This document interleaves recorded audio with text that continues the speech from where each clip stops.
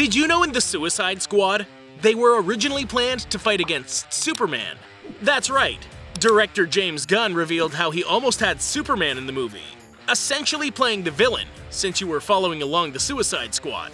Eventually, due to so many complications and questions of where Superman fits in the DCEU, and if the movie even falls under that bracket, Gunn decided he couldn't be doing with all that, and instead introduced us to Starro as the villain.